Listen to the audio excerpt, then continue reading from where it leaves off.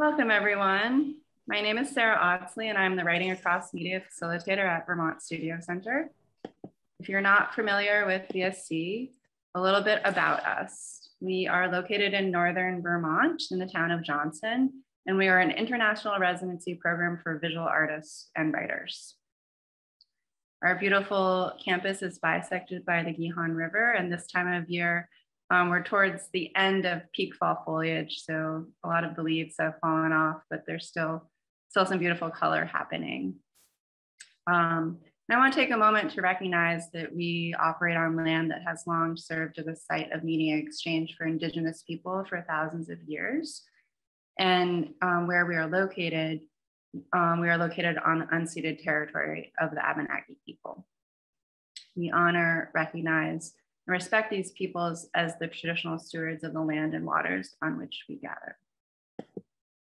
It is such a pleasure to be here with you all tonight. Torrey is going to read for us, um, and then there will be a, a, question session with Naomi Gordon Loebl, and then we'll um, take some questions from the chat. So everything will be moderated from the chat. Thank you again for being here. Um, I'm going to introduce both of our writers tonight and then turn it over to Torrey to read.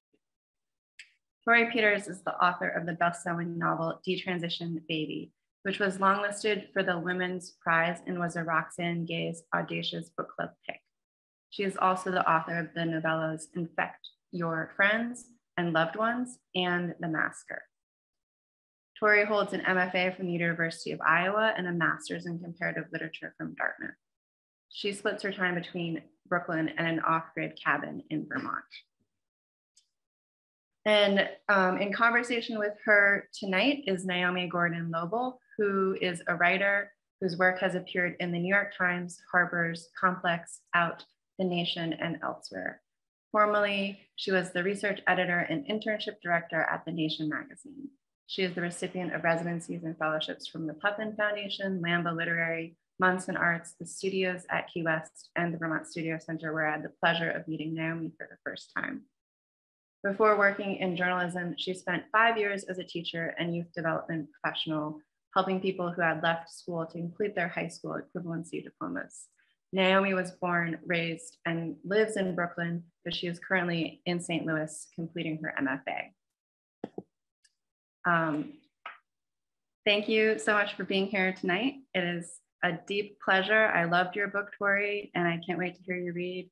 And I just want to let you all know that she also says she's going to read a little bit of new work as well.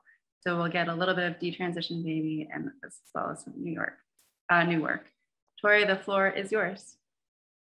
Hi, um, I'm really thrilled to be here. I do spend a lot of time in Vermont, so saying this is uh, it feels like a quasi home state event, and um, yeah, I'm just I was so happy to when when I got the invitation. Um, I'm going to start off by just reading um, from the book. This is a British version, which is why it doesn't look like yours if you have one. Uh, and uh, um, this this section um, it doesn't need too much setup. Uh, basically, uh, Reese is at a bar and she's the the book talks a lot about different ways of being a mother, and this is um, Reese being a mother in a sort of trans motherhood sort of way rather than perhaps biological motherhood. okay. oops, one page back. Uh, here we go.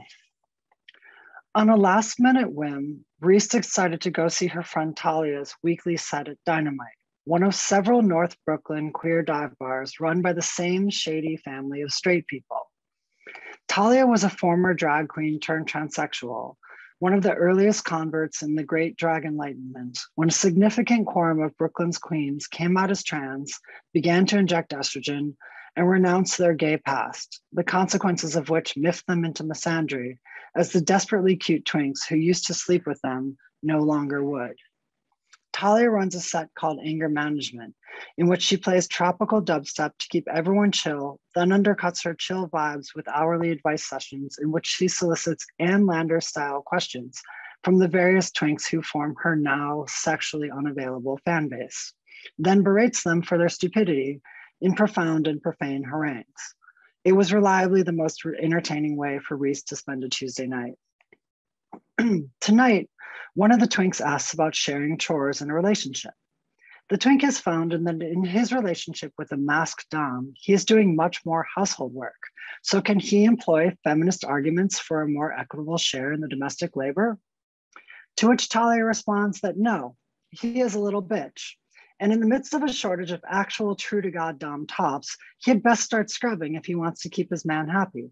However, Talia adds, the whole premise of the question ought to be rejected because there's no such thing as a pure mass top everyone will eventually want to have want something in their butt because that is the nature of having a butt. When the moment comes that things get equitable in bed, so should they be in domestic labor.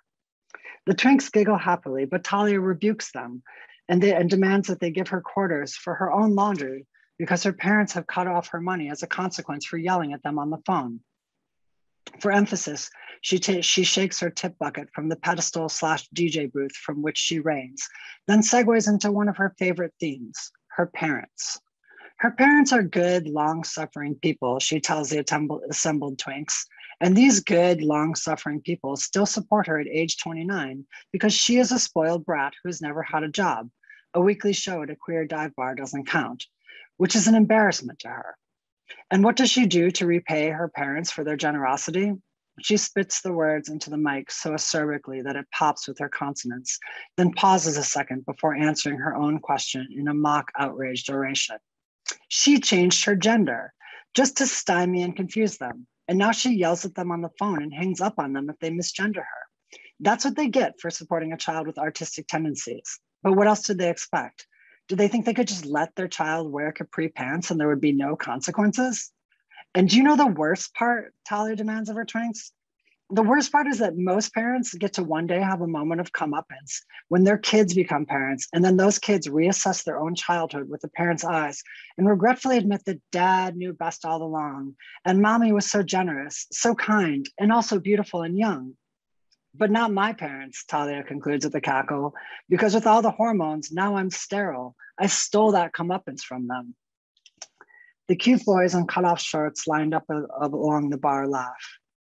Talia, Talia theatrically narrows her eyes at them. What are you all laughing at?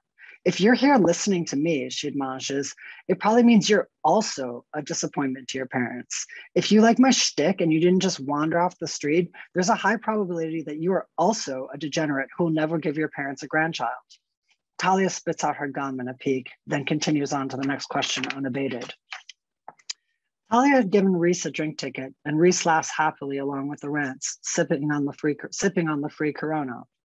Reese sort of loves Talia's parents, or at least Talia's version of them. She empathizes with them. They make all the classic parents of a trans mistakes, but unlike Reese's own parents, they seem to truly and deeply love their child, as baffling and confusing as they find her. Reese can relate. Talia is deeply lovable and talented and spoiled and capable of inexplicable rage, which makes her one of the most compelling girls Reese knows. Talia also happens to be one of the most talented musicians in the city, though she prima donnishly refuses almost all offers to perform. Her parents' largesse allows her to avoid the grind of petty performances, which lesser musicians accept primarily in order to eat and secondarily to build up a following. Still, although Talia performs only rarely, half of her twink followers are fans of her music who settle for seeing her yell at them in a dive bar because it's the closest thing available to hearing her sing. Talia's ta talents only explain a part of Reese's deep affection for her. Reese knows a lot of talented people. Half the trans women in Brooklyn live in a state of perpetual pre celebrity, awaiting a well deserved recognition that will never come. No, more than simply finding Talia compelling, Reese secretly and proudly thinks of Talia as her trans daughter, Reese shares this with almost no one because she'd be mortified to take public credit for how remarkably level Talia has turned out to be, even though in her own mind, she deserves a healthy share of that credit. Reese met Talia in the first months of Talia's transition. Just as Talia entered the full bloom of the second puberty, just as the changes in her body began to show, just as every evening the momentous pendulum of estrogenetic moods swung to despair, just as Talia broke into the period of transition when she cried at the moon and broke mirrors in self loathing and fell in love, real and present love, for the first time. How many nights had Reese sat down with Talia to offer her counsel, both stern and loving, as Talia writhed like a turtle who'd lost its shell, its soft, unarmored flesh abraded by the newly felt humiliations of life as a transsexual? How many times had Reese gone over to Talia's apartment and held her when she cried and tried to give her advice without telling her how to act or patronizing her or creating a hierarchy in their friendship? Because as much as Reese wanted to shake Talia and tell her to grow the fuck up, she admired Talia in all the skills and dreams that she harbored, those same dreams and hopes that Reese herself had given up. Isn't that the most motherly thing of all? To hope your daughter has the chances that you never gave yourself or that you were never given? mother mother daughter relationships among drag queens or gay men have a long lineage uh, as a New York City phenomenon, as every queer to have reverently watched Paris is Burning will gladly inform you. Reese knows the mother role still holds with still holds sway with the Black and Latina girls adjacent to the ballroom, girls whose families reject them young and early, who need guidance and love and firm talking tos on occasion. That's not how it is with the white girls Reese knows, though. Those girls, unlike the teenagers seeking family in the ballroom scene, often, often haven't yet lost their sense of entitlement and won't stand to be told what to do, won't accept an explicit hierarchy of mother daughter, especially not from some tranny only slightly their elder whose own mistakes layer and squish on each other like a melting cake. Reese has raised a few trans daughters. Excuse me, I'm a little sick right now. Just a cold though, don't worry. Um, Reese has raised a few trans daughters over the years, all and all of the mothering has been tacit. The girls need it, yearn for it, but won't accept it if they realize what it is. And Reese, for as much as she complained about these ungrateful girls, needed them too, craved the chance to nurture someone, to care and soothe them with her softest, most selfless love. Talia sways on her DJ pedestal, a little dance that both mocks and gives in to the chill, cheesy chill of the vaporwave song she's just put on. All Reese's children, and here she is, still alone, how can Reese not feel kinship with Talia's parents? These nice middle class people, he a doctor and she a teacher, who ache with worry for their daughter and who have no idea Reese exists, who can't know that there is a shadow mother plotting and worrying alongside them. She wants to hug Talia's parents, to tell them it will be okay. Suddenly, Reese has to get out of the bar. She has the awful fear that she might. Grabbing her purse, she slips out. No one notices. Behind her, Talia, charismatic as always, tosses back at the audience the slips of paper on which they have written their questions, then slides up the volume on another breezy dubstep mix in a show of huffiness that may or may not all be part of the act. On the sidewalk outside the bar, Reese attempts to bum a cigarette from a handsome guy who looks to her like a slightly femme Vin Diesel, but who doesn't register her until she speaks directly to him because he's fixated on two slim boys leaning against each other in the doorway. Distracted, he gives her a cigarette and then coming to himself, chivalrously lights it for her. That's my daughter in there, Reese tells Femme Vin Diesel. He peers through the darkened windows at Talia, then back at Reese. You must be very proud, he says gamely. The two slim boys move back inside, and Femme Vin Diesel glances at them with an expression of loss, unsure how he has committed himself to a supporting role in some transsexual neurotic mother role play. Go with your friends, Reese tells him. She angles a stream of smoke out the side of her mouth and waves the cigarette cherry in the direction where they slipped away. He nods gratefully and steps lightly after them. A few moments later, Talia comes out. Oh my God, I had to escape the baby transes in there. One of them was complaining about how a cis woman looked at her today. That's how wounded she is. She can't take being looked at. Two eyes appraising her is trauma. I can't take it. such as the explosion of girls transitioning in and around the Brooklyn drag world, and so devoid of those, the, those so devoid are those these girls of their own trans history that Talia, having been on hormones not quite two years, has found herself forcibly placed in a maternal role. Her tone evinces a teenage mother's exasperation with children, having just been one herself. Without asking, Talia takes a cigarette from, with, from between Reese's fingers and puffs hard. Reese laughs. This is the moment. what is the moment? The moment you just said your mother would never get, when a daughter finally has kids of her own and begins to understand that her mother knew best all along. Talia exhales and hands a cigarette back to Reese, who declines it. Don't be so smug about it, Talia says. Maternal smugness is very annoying. Remind me to tell that to my mother next time I call her. She lifts the sole of her shoe behind her, twists herself with easy balance to stub out the, the cigarette on it, and flicks the filter into the gutter. Her lashes curve luxuriously around her eyes, even when she doesn't wear mascara. And tonight, she's worn the mascara thickly, making the amber irises appear bright and unearthly by contrast, illuminated as they are by the orange lights of the sodium vapor streetlights. Many people think a trans woman's deepest desire is to live in her true gender, but actually it is to always stand in good lighting. Normally, that means avoiding the unflattering orangey glare of streetlights. Yet Talia, with her dark curls and smooth skin, stands resplendent as a, as a Greek pop star in the fiery hues. in Reese's memory of memories of childhood, night had a different blue-black tone than in her adult life. And in fact, she later learned when she returned to visit Madison after a long hiatus, this change in the color of night was not an illusion of time and remembrance, but a historical fact. Like most American cities, Madison, Wisconsin had replaced the blue white lighting of incandescent and mercury vapor street lamps with the orange of sodium vapor.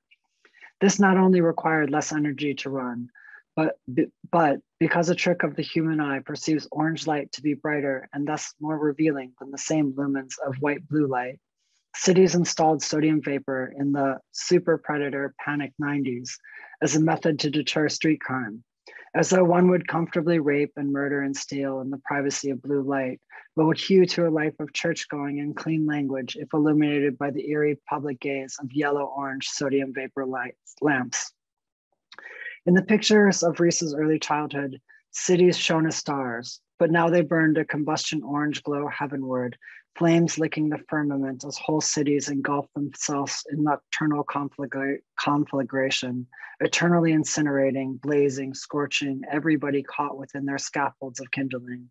And at the daughter, at the center, her daughter, Talia, queen of fire, I think I need my shot, Reese tells Talia. I'm feeling very grandiose and morose and old. That's always a sign I'm hormonal. I was thinking that the night is a different color than it used to be. I have to change songs, Talia says, taking Reese lightly by the arm. Stop being weird and come back inside. And this, Reese reflects, is the other reason to be a mother, in whatever fashion motherhood comes your way. So when you're old and alone and feeling sorry for yourself, your daughter will roll her eyes at your theatrics and bring you in from the cold. So that section.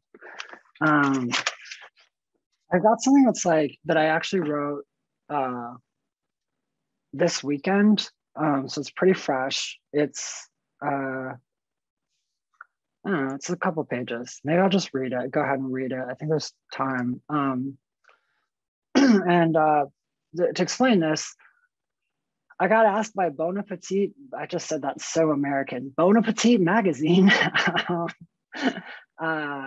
uh, to do a, a piece on a dinner. They have a series that's like a dinner that was a, an important dinner in your life, and then they recreate the recipe for that dinner as, as the series. Um, but uh, so this one is mine was mine is fried fish, and this this little section it may turn out to be quite different in the magazine. They may want a lot more food and a lot less of me, but um, uh, here it is in this version. Uh, so I'm glad for a chance to share it before it becomes a Condé Nast thing. uh, last Supper. My last dinner as a husband, and arguably as a man, was fried tilapia the fish had been caught from a skiff on the shore of Lake Victoria, and only an hour or two later, dredged in flour, fried to a golden crisp in a vat of vegetable oil over a wood fire, and served to me with lime and piri piri. I could still taste the, the green flavor of algae in the flaky white flesh. My senses all registered that, that I had before me a truly excellent meal, but I ate it glumly across from my then wife, Olive, who picked silently at a matching fish. We sat on plastic chairs at a wooden table banged together with pegs. It was the rainy season. Low skies reflected in the puddles that pooled in the ruts of red dirt roads that led up to the shore. Huge marabou storks, known as the Undertaker bird on account of their haunted movements, leprous pink skin, and dark wings that hung like a cloak, slipped and flapped through the grasses around us, contributing to the funeral mood. Olive and I had lived in Kampala for almost a year at that point. She was a graduate student and had received a National Science Foundation grant to write an ethnography of Uganda's only lesbian bar. From appearances, a lesbian bar was an odd choice of study for an American woman in a heterosexual marriage, but it had happened organically. Three years before, I had come out to Olive as transgender, but I told her, or rather, I told myself, and by extension her, that I'd never transition. I just had certain urges and I loved her and I didn't want to mess up our relationship by transitioning. I, I assured her that I could manage as a man just fine. Olive was in a PhD program at the time I came out to her. She had previously worked at an NGO that provided services to teen mothers in Cameroon. That summer, she traveled to Uganda to pick up with her work. But newly curious about trans people, she ended up meeting and befriending members of a nascent trans movement in Kampala. The following year, 2008, Urged on by members of the American evangelical movement, the Ugandan government outlawed homosexuality, making no distinction between homosexuality and trans identities. The proposed punishment for homosexuality was imprisonment on the first offense, death on the second. And yet, in the midst of this, a group of trans men and lesbians kept open a lesbian bar, more than kept it up, more than kept it open, they kept it packed every night of the week, no matter harassment, police raids, and daily hateful screeds in the Kampala tabloids. When Olive went back and visited her friends under the shadow of the anti homosexuality bill, they came up with an idea. She would write a year long ethnography of the bar and its patrons. The next year, that project was funded by the National Science Foundation. And as her husband and a nominal trans person, I went with her. In the United States, I'd been experimenting with my gender presentation pierced ears, eyeliner, tighter shirts. I'd watch RuPaul and be inspired to try out a full drag look, which led to a desperate euphoria for days after, a wild eyed happiness that I've since encountered in other trans people and understand can be both annoying and alarming. I reasoned that it worked like an escape valve. Give me a day of gender obsession every few months, and I could be a good husband the rest of the time. I put my gender on hold in Uganda. In truth, because I'm white and American, it's not like I was risking arrest or the death penalty like queer Ugandans. Two Ugandan trans women I knew while I was there had both been arrested multiple times. What they suffered in an Idi Amin era bunker isn't mine to recount. Suffice to say, the only reasons police bring people to Amin era bunkers are horrific. And yet, those two persisted in expressing their womanhood. By contrast, I couldn't even be honest with my wife about my own gender. I might have been ashamed of my relative bravery as compared to those two women, but that's the whole point of repression to remain unconscious of one's own cowardice. In high school, my friend's dad caught him smoking and did that legendary dad thing where he then made my friend smoke an entire pack of Marlboro Reds. My time in Uganda was the masculinity equivalent of smoking an entire pack of cigarettes. I bought a 4x4 truck and drove it around dusty roads. Hot water was unreliable, so I grew constant stubble. Because people told me t shirts were disrespectful and slovenly, I took to wearing button down shirts and ties. I learned a few phrases of Luganda, but generally, I couldn't follow conversations, so I came to speak even English in a terse, clipped manner to avoid letting my confusion or helplessness show. It was effective. I made friends easily. People thought I was competent. But the more I leaned into that masculinity, the more opaque I became to myself. My internal landscape desaturated. Sussing my own emotions was like feeling for lost objects on the bottom of a murky pond. Affection withered before I could express it. I stopped touching Olive, couldn't express any kind of sexual desire. At night, I would catch her watching me, the brief gleam of her sad eyes in the dark as she contemplated why this man she married no longer wanted her. Rather than face those eyes, I'd roll over and away. In the morning, neither of us could manage to talk about it. All day long, she spoke with queer activists, conversations dripping in sex. Everyone wanted to tell the American ethnographer of the furtive, illicit hookups made hotter by danger, of the dish breaking drama of breakups and cheating, of clothing and bodies pressed close to late night beats, of slipping away to finger your crush in the back of a broke down 80s Corolla imported from Dubai. Olive and I would laugh along and perform that same open exuberance, but alone under the mosquito net in our rented room, the unsaid words accreted in our mouths like plaque. By winter of that year, 2010, it became clear that a proxy culture war was being waged by the West in Uganda. The religious right, especially the Americans, were losing the battle of gay marriage at home, so turned to the global South in search of new fronts. they lit on Uganda, a country with policies unusually open to foreign organizations. LGBT and human rights organizations were slow to catch up. By 2010, money from US churches was pouring into the accounts of right wing politicians, and European NGOs were funding counteractions. The atmosphere grew, grew increasingly hostile. Olive's friends found their pictures printed daily in Kampala tabloids, along with unfounded accusations of recruiting children into homosexual orgies funded by decadent Europeans. I awoke one morning to Olive crying. A friend of hers, David Kato, had been killed with a hammer overnight. By evening, Hillary Clinton had weighed in. By the following day, Barack Obama. Right wing politicians saw this as, as a foreign intervention in Ugandan affairs. They hailed as a hero Kato's killer, who turned out to be a co- confused teenager looking for the foreign cash the gays were rumored to be getting. Olive spent a month helping out during the funeral and its aftermath, a turn into fear and paranoia that swept over Uganda's queer and trans activists. The hunt, the sudden hunt for asylum applications, safe houses, European sponsors. While she worked, I stayed home, read novels, failed to write my own novels, worried about my truck and occasionally drove it out to the countryside. I bought enough 3G, 3G internet credit to browse extremely slowly far away trans internet sites on my third generation iPhone. Olive and I went days without seeing each other. It was during this era that Olive and I sat down to a dinner of fried fish at a place we'd been a few times before, a grassy field that ran into a muddy shore north of Gaba Beach. On the weekends, people rented the fields for weddings and events, but on weeknights, a group of women brought tilapia and lake perch to fry in open vats for passerby picnicking on the grass. Because of the intermittent rain, we were the only customers. Tilapia is a maligned fish, the kind of freezer bitten, bland whitefish that ends up breaded in tacos. But fresh from the water of their native lake, they rival red snapper for flavor. And I wanted to eat something worthy of a last meal because I knew something Olive didn't. I was leaving.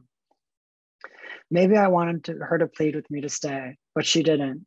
She just asked me if I would please sell the truck because she didn't want to deal with it. I gazed out at Lake Victoria. A few men were casting nets, nets from a skiff onto an algae bloom offshore. The evening was still so still that the sound of their grunts carried over the water. When you finish here, I asked, Will you come home to me? She didn't respond. After a while, she picked off the tail fin of her fish, sucked at it, and threw the bones to one of the marabou storks that peered at us from a dead tree.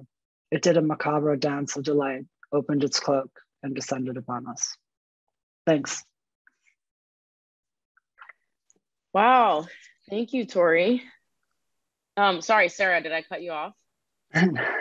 No, I was just going to say thank you so much for reading from your novel and also the new work. It's so exciting to hear that new piece before it gets, yeah. before it gets edited out. I mean, I'm sure it's like they're like they're like, will you tell us about a nice meal? And I'm like, well, let me tell you about a terrible thing that happened. And they're like, this is a glossy magazine. Like, it's it's for I don't know.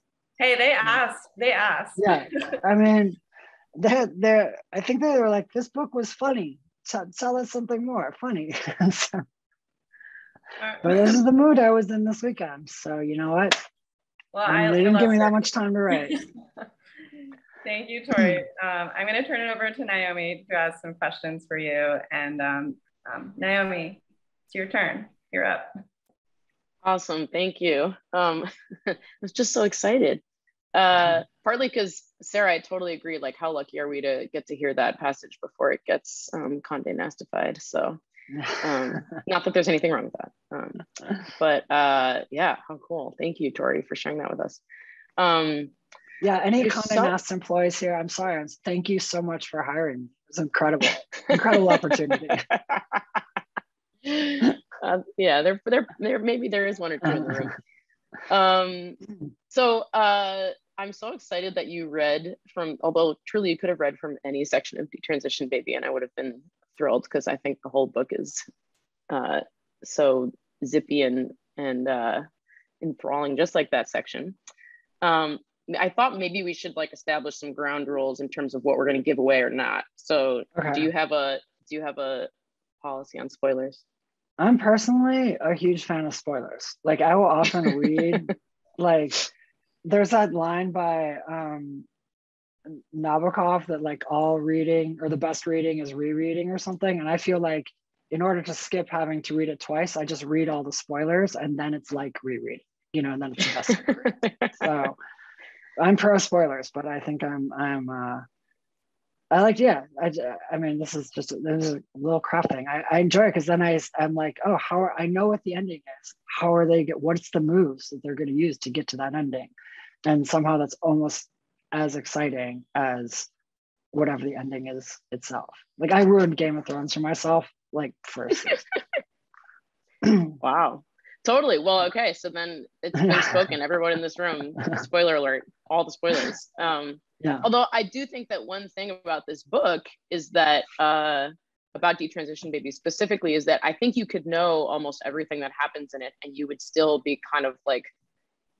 uh, glued to the page and also shocked in some ways. Like it's interesting the way the book has been talked about is, and now we'll just get into the spoilers. Like it's pretty openly discussed as like um, former partners, one of whom has detransitioned, and a third person who is one of their lovers are contemplating parenting a child together, are contemplating motherhood together. And that's like a huge part of the book, but we all know that going into it. And um, yeah, it's the first chapter, in fact. Yeah. Yeah. So it doesn't give anything away. I just give, give I'd put the whole plot in the first chapter so I can just meander for the rest of the time. yeah, it's great. So I thought we could start with um, the dedication, which I know a lot of people have sort of brought up because it's really interesting. And for people who don't, who haven't read it, the dedication to the book is to divorced cis women who, like me, had to face starting their life over without either reinvesting in the illusions from the past or growing bitter about the future. And this line also comes up later in the book. Reese gets it um, when she's talking to Katrina about who she thinks has anything interesting to say about gender, right? Mm-hmm. Um, yeah. And so I was thinking um, that, you know, in the acknowledgments, you describe the book as a story of trans feminine culture in the new millennium. And I was like, wow, that is exactly what this book feels like it's about to me. Um, and of course, it's being read by a lot of people. It is a bestseller. Congratulations. And I saw it's being published in Brazil, maybe, right? Like it's yeah, read by people be, yeah. everywhere. Um, and probably not all of them are uh, intimately familiar with trans feminine culture, or maybe I would guess that a lot of people reading your book like don't even think that they know a trans person. Yeah. So I wonder um, what that's been like for you. You obviously can't speak for those people, but I suspect that you have heard from them. Um, and I would be curious about like just what it has been like to publish this book that is such a specific story um, about a very specific corner of our culture that is now being read by people far outside of it. Well, I mean, I think it does speak to that dedication. Um, you know, I, when I first started writing, I, well, my first, let me say that differently. When I first started writing sort of trans material, I had this idea that um, I wanted to write only for trans women. And this is sort of like similar to like uh, what Toni Morrison did with like Black women. Like I write explicitly for Black women and everyone else can keep up. And what that does, well, I won't speak for Toni Morrison, but what I'll say for, for me writing for a trans audience is it meant that um, I didn't have to slow down to explain anything. So much of what trans writing was before was like 70% story, but 30% explanations. And I was like, if I assume a trans audience, I'm just going to be able to go at a full out sprint the entire time. The second thing it does is it actually raises the bar. And um, because it's oftentimes pretty easy to tell cis people stuff that interests them about being trans. It's pretty difficult to tell trans people stuff, things that are interesting about being trans. Like, you know, I say, if I went to a trans person, I was like, this is how hormones work, they would like yawn at me. They'd be like, yeah, I do it every week for the last like however many years. so it means if I want to talk about hormones, I have to bring a higher level of insight. So that was really my like framework over the last, I don't know, couple years before I started this novel. And then as I was writing this novel, I began to think a little bit less in terms of identity and more in terms of affinity. Because there's a lot of trans women who don't actually have the same experience of me. They don't share the same culture, which is, you know, very sort of a certain like Brooklyn girl culture. And and I was like, well, who do I have affinity with? And I was, at the time, I was in my mid 30s and I was like feeling pretty kind of lost. It was like, um, you know, I'd spent a long time partying. I'd been, I'd got divorced, as in that thing had said, and then I moved to transition, moved to Brooklyn. I was mostly just kind of partying, and, and I didn't know what was up, and uh, especially how to get older. And uh, I started reading a lot of books by divorced cis women. And I found that the trajectory of a transition and the ways that I transitioned looked a lot like the trajectory of divorce, in that you live your life a certain way, expecting certain things, under certain sort of like illusions of like, this is what my life is going to look like. And then suddenly there's a break. And what feels like a failure or a fall or you know any number of things um, and you have to then pick yourself up and you you know and i don't mean that the transitions like a fall but i mean in terms of being like i was so wrong about myself. I was so wrong about what i believed my life could, was going to be and who i was. And i had been living so much in a state of fear. And um and realizing that's very hard. So then you have to move forward and you have to not get bitter about the time that you invested in that other way of thinking. And you have to not reinvest in those same illusions that brought you to that failure. And so there was like a way of thinking and a way of approaching life that i found in these works by divorced cis women that i was like wow actually these books are not just good books. I am learning how to live. I'm learning how to think from these books and after a long time of reading them you know ferrante or rachel cusk or you know uh, there's any number um, I began to feel like, okay, but actually I have some things to say back to them in terms of gender. I this this I want this to be a conversation. These books help me, but I think there's some places where they're not seeing certain things about gender. So I want to write this book as an open conversation. And as a result, I think it hasn't, you know, the the Toni Morrison thing is true. Toni Morrison's read by all sorts of different people. And if you just run and it's exciting to run people keep up with you. And and two so you can be read in brazil. And if you're if you're running people aren't going to be like what's this?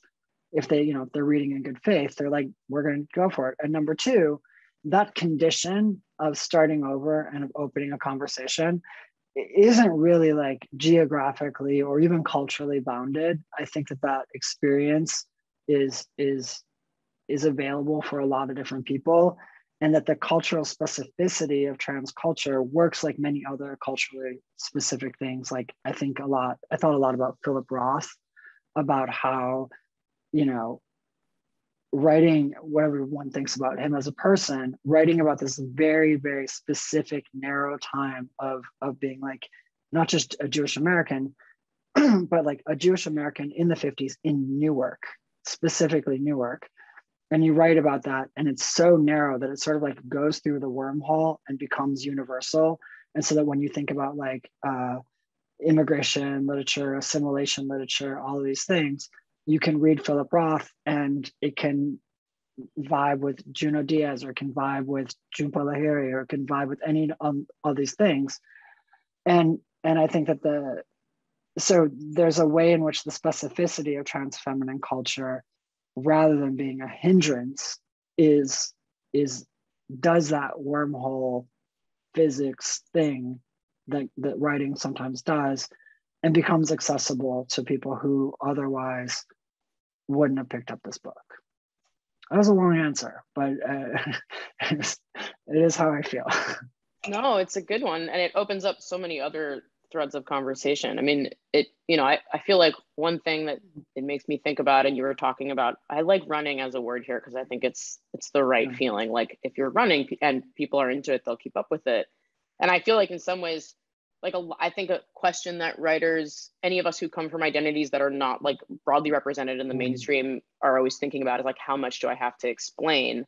And I feel like this book is kind of like the like kind of definitive proof of like you don't have to explain actually um uh and i think it kind of speaks for itself in that way it's interesting i i'm thinking about um so new york magazine uh profiled you um and you said this thing in in the story that that i thought was really insightful that i keep thinking about um, which is that we're coming to a stage of trans literature where cis people come to know themselves through a trans lens and sort of relates to what you're talking about, I think, in that um, partly like what are what are people going to take from your book? Um, and like one of the things that I thought was so amazing in Detransition Baby is the revelation that kind of happens. It's not happening for some of the characters, but that's happening for some of the cis characters, like repeatedly that like everybody has a gender um, and yeah. that like gender play is something that everybody does and there's a um, there's a great section where uh, one of the um, cis women in Katrina's friend group is like, you know, just like basically getting off on thinking about her husband doing like uh, like masc cosplay upstate for the weekend, yeah. um, like lumberjack cosplay. Yeah. And uh, see if I can pull it up fast enough. You have this. There's this line that uh,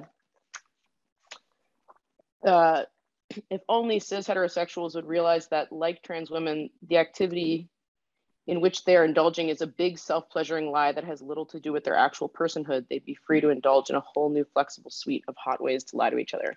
Um, so, yeah, I just think it's like I, there is this um, way that I hope that people are reading this book and being like, oh, wow, I have a gender. And like, I do, yeah. like, and I wonder whether you've heard from those people. I especially wonder if you've heard from like cis men um, who are learning that they yeah. have a gender? I mean, I think it's funny. Like, you know, if cis men understood that they had a gender, they'd realize like that they're doing it all the time. Like, and I, my joke about this is like the catching a fish in the Tinder profiles. You know, like it's like, why do you have a fish in your Tinder profile? Like, what are you what are you communicating there? are you going to come to a date and like smack a fish on the table in some restaurant and be like i have caught this for you woman like you know i am a provider you know? But actually that is what they're doing right? They're doing like i'm a provider i am a hunter i you know in a time of famine i'm safe you know?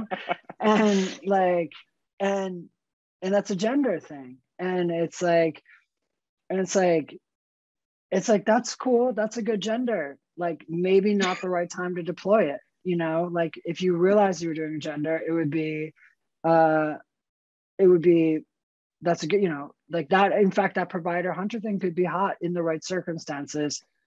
First impression maybe not the best.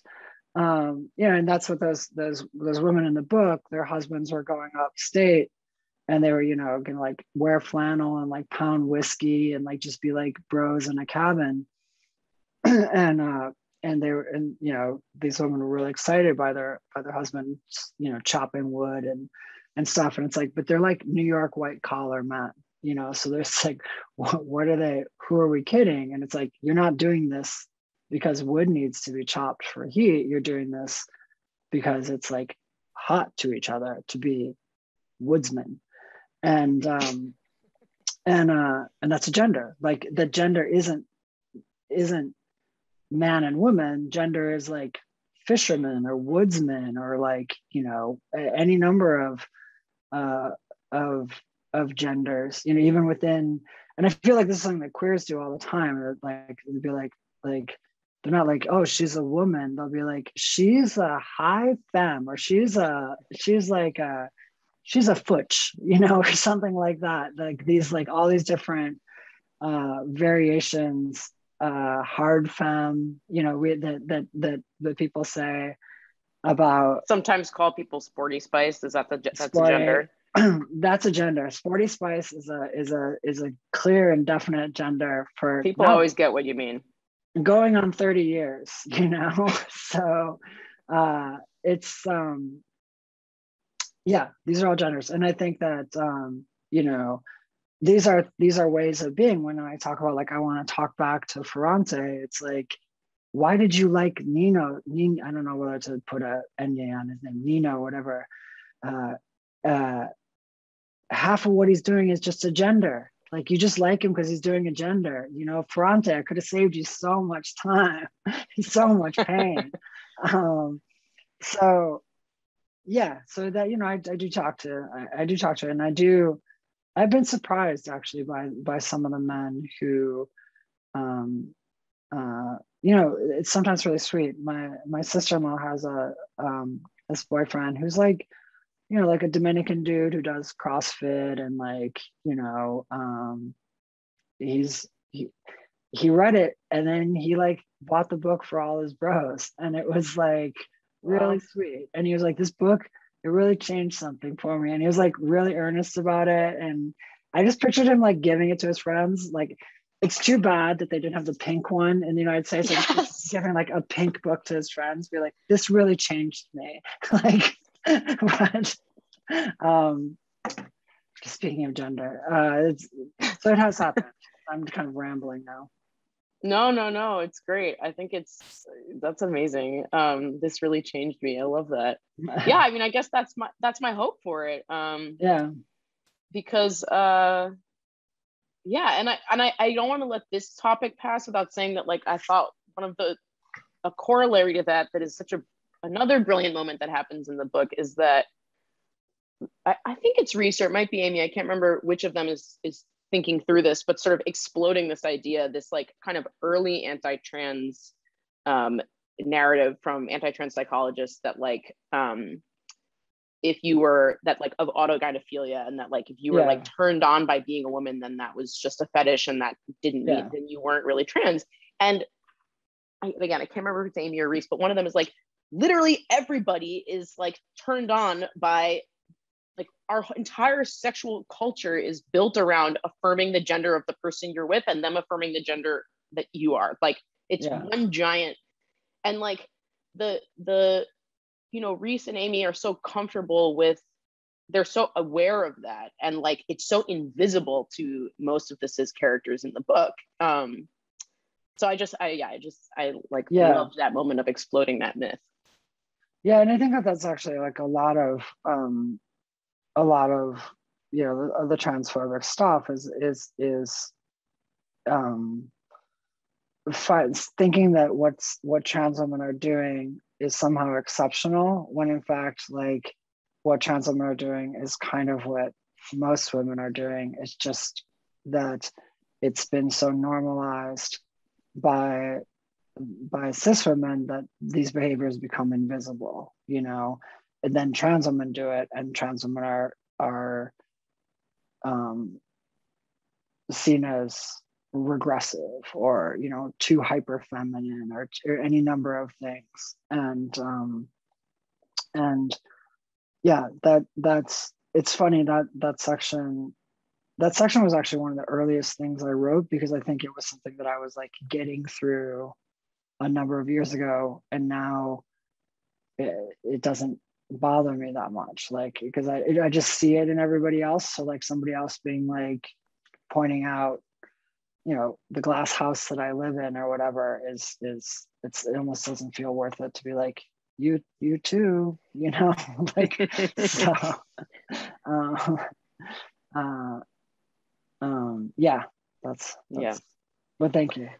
Well i'm glad we i'm glad we talked about it. I mean on the sort of flip side of things, like because we've sort of been discussing what the book, I guess, like gives this is very rejective of me to say, but like gives cis people and thinking about gender. I'm also thinking about all the things it's giving those of us who are not cis. And like there were so many parts of this book that where I felt like you articulated something that not only had I not seen that I related to, that not only had I not seen articulated anywhere, but that I wasn't even sure I could have put into words myself. Like I'm especially thinking about some of the writing about dissociation related to gender around sex mm-hmm. and like um and another passage that's sort of related to what you're saying now about where Reese is talking about how her politics and her own dysphoria don't line up and how she's like, yeah. you know, um, she would happily cheer on, this is a quote, this is not my words, she would happily cheer on any other woman who flaunted her orbital ridge in the name of challenging cis normative beauty standards, but she would have the first available misogynist dick of a surgeon burr her skull, Barbie Smooth.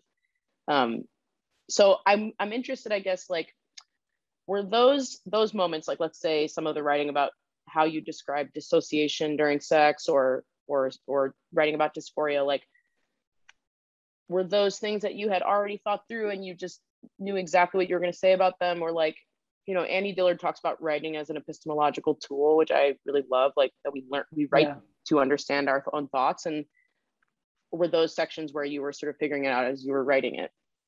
Some of those sections i had already sort of processed in my head and the work was giving them to reese. But i will say that oftentimes it was writing those sections of what I thought, and the project of writing a novel just takes so long that you write something and you're pretty sure that's what you believe. And then you come back to it two years later and you discover that actually it's wrong or that it's not quite nuanced enough. I mean, one of the examples about dissociation here is that I wrote about dissociation and I wrote about it the first time as a specific sort of circumstance of being uh, feeling like you were a girl and the world telling you were a boy and then basically being like well in order to be a boy i'll just sort of leave these feelings that i have and live and so i'll sort of dissociate from these internal feelings and i'll live in this dissociated state and the place that that often comes really into uh, sort of a time that you confront it is during sex when you're supposed to be back in your body you know but you've your whole way of being is sort of being outside your body. So I thought about that a lot in, ter- in trans terms. And then after I wrote that section, about a year later, Cat Person in the New Yorker, you know, that, that famous story that has had many subsequent iterations, you know, iterations or codas, I guess you'd say to it. Um, was published and i read that story and i recognized what was happening to the narrator in that story was dissociation like classic dissociation that i had thought of as like a really trans experience. And basically being like oh i'm not so this this is this this is almost exactly how i wrote it.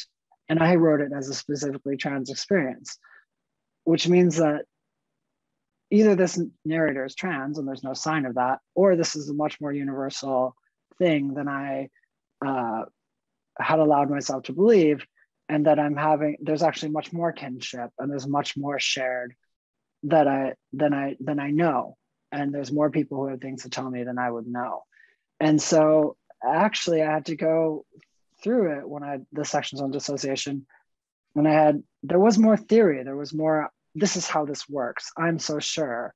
And then to be confronted with the fact that I was wrong, I had to actually erase a lot of my, you know, carefully theorized and typed out, you know, then thinly fictionalized lectures.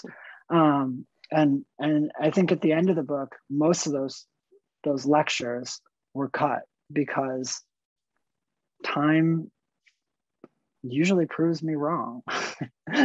so, uh, and and that's the beauty of writing a novel instead of a tweet. Yeah, you have some time to, yeah. to process and reprocess things and revise. Yeah. And what we're left with then is is just I think like a really some really uh, vivid and like uh, evocative descriptions of the experience of dissociation rather than the idea of it, um, yeah. which I think is really hard to describe since it's fundamentally about not feeling or not being present. Yeah. Um, uh, Sarah, I know we're like close on time. Should I should I uh should, can I ask Torrey more? Should I Yeah, hi everyone. Um I've been really enjoying listening in. Um we have one more minute left and there have been no questions dropped into the chat, even though I've, oh, there's one question. um, Torrey, do you mind entertaining one question? Um, no, no, but I, I mean, I can go for a, a while on this. okay. Other people have places to be. Um, um, so, so Juniper was wondering um, what directions are you excited to see trans writing go in? Um, you know, I'm gonna say something that's like a little bit a little bit bitchy, um, and it's that I think that a lot of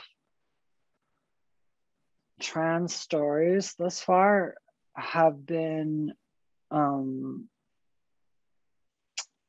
have been well. Okay, I, I'm gonna answer this a little bit longer. I know people have to leave, but essentially, the Joanna Russ has this idea about women's writing and then other that it got taken towards other marginalized groups that there's various stages of of literature the first stage is a sort of like um, we're just like you kind of stage like hey here we are we're just like you dominant culture the second stage is we're nothing like you like fuck you we we reject you and we're the we're the diametrically opposed to you the third stage is sort of like we have nothing to do with you one way or another. We do not define ourselves either against you or with you. It, but uh, we're just separate. And then I think that's Joanna Russ's schema. I think there's a fourth stage, which speaks to the sort of trans lens and affecting everything, which is that I think the dominant culture then begins to pick up the ideas of the minority culture. So you have suddenly straight people who can only see themselves through the through queer terms or through the sex that can only talk about their sexuality through queer terms um, you have you know white people who can only understand their race through uh, work done by scholars of color or black scholars and now what we're getting to in, in, in trans literature is you're getting to a stage in which cis people can under, mostly understand their gender through terms that are thought up by trans people. And you see this in Maggie, like, you know, probably most prominently in Maggie, Maggie Nelson's Argonauts. Um, and there's a strain of books along this thing. And so what's been a little frustrating to me is that I think trans people, when when we're writing, we're still occasionally writing in that third in that third space while this fourth stage space is happening. And so there's a sort of YA aspect to trans writing, which is like, what does it, you know, how are my parents going to accept me? Am I going to get a, a boyfriend or a girlfriend? Am I going to get what's my identity? And these are actually things that you often see in YA books. I'm interested in seeing trans people respond to this fourth level, which is that transness is now in the dom is the dominant culture has picked up transness. It's using it in all these different ways, and um, and a lot of the insular fights that we're having about what what does it mean? Are you what does it mean to be non-binary? What is it? You know, X Y Z. How are these? What are the lines of demarcation between them? I'm like, that's we're squabbling amongst ourselves, and the world is going by let's intervene in it let's push it let's shape it let's do all this stuff and i think that there are books being published that are doing that um, i talk about jackie ess um, her book darryl which is about a white cuckold and uh, and the adventures of a white cuckold in uh, in in oregon. Jackie's a, a mixed race trans woman and um, she's applying this a trans lens to a white character to a white cis male character. And she's shaping the, the way that you see things i think there's all sorts of um all sorts of ways. And i can't imagine them myself because i'm only myself as a writer but i think there's all sorts of interventions that trans people are going to make that are in, that are going to shape the movement of culture beyond just how it affects us. And um, and i think we have the capacity to do that and i'm excited for that movement. I think that the questions of you know what does this mean for ourselves? I certainly spent a number of years there. Um, but i'm curious about what what happens when the borders dissolve as as dominant culture takes these ideas. Um i think we can do one more question torrey. Um and that's actually sort of a good note to transition into it which is um in terms of thinking about where writing is going you have uh two of your books are being revised and coming out again next year right um yeah so tell us about them and yeah. Sure. I have a so I had two novellas that I self-published because at the time I was writing, I was part of this trans scene, and uh, a lot of the publishing houses didn't really know what to do with a lot of our writing. So we, and for various reasons, I decided that I wanted to just self-publish and give them directly to trans girls on the internet or trans women. I gave them away for free, and they sort of became these like cult novellas um, before I published with a big press, and most of my audience was came from this self-publishing thing rather than even though I, I had an MFA, I think that self-publishing actually helped me much more than any of the MFA connections. Um, and so, but what happened is now that I publish, places are like, well, what else have you got? And it takes me this one, this novel took me five years. Um, and so I don't have anything more right now, but I, I do have these two novellas. And then I had a, a, a third one that was about half done and I rewrote most of it. And then now I'm working on a fourth. And so we're going to publish it's it's due at Christmas. We're going to publish these four novellas as a collection, and then hopefully I'll turn my attention to this completely to this um, novel that I've started, and that uh, I think you know when you publish a book, it's a, a bit of a gauntlet, and it's hard to hard to sort of find equilibrium afterwards when you have a sort of onslaught of people's opinions uh, about your writing to then basically be like no wait what do i actually think and what do i actually care about? And um, i'm finding my footing. Um, like everybody said my sentences were too complicated so i started writing these really simple sentences and i was like that's not actually that's not my style like what what am i doing why goodreads right goodreads reviewer like number 27 that just don't read it you know like so um so that's the stage i'm in right now can you tell us anything about that new novel or maybe sure. maybe no, I'm happy to. As I said, I love a spoiler. A spoiler for a book that hasn't even been written yet. Um, uh, it's um, it's about it's it's what I'm calling a queer financial thriller, and it's because I think that in queerness, um, money's money and identity and how money gets money and identity. There's a confluence in the ways that they sometimes are talked about that that I think within queer community we don't want to talk about. Um, and so I want to talk about it because I think it, especially as somebody who like, you know, in the last year has come into more access. It's I've been trying to make sense of it, and um, and uh, and so I was like, I like genre stuff. I like the way genre things will offer things, and I was like, you know, I really like like The Big Short. I love like these financial thrillers, you know. And I was like, and and you never expect to see a queer in like The Big Short being like, buy, sell, I've got a scheme, you know. And uh, so I was like, I don't know, I don't know, I want to get some shady queers, uh, doing some financial dirty dealings, and uh, see how that goes. Sounds amazing. I cannot wait to yeah. read it. Thank you so much, Torrey. Thank you for a lovely, thank you for these amazing questions and and like the space to just kind of riff. This was this was a, a, a huge pleasure. And thank you everybody who I mean I can see on the screens. I love that everyone has their cameras on. Usually I do this, it's like me just talking to like a bunch of you know boxes and names. And I, I love uh, for people who don't have their cameras on, I apologize. But uh, you know, there's a lot of people with their cameras on. And so uh, um, it's it's lovely to see all your faces. Thanks for coming out. Thank you so much, Torrey. Thank you, Naomi. Um, and it was the highlight of my week. Um, and it's been a pleasure.